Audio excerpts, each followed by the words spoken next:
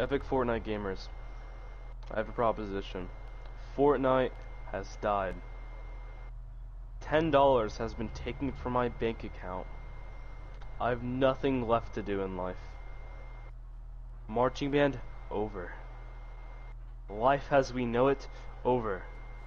So please, come subscribe to me so I have a reason and a will to live.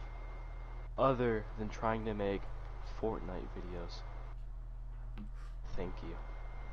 That was beautiful. I'm gonna make a sad black and white edit for that one.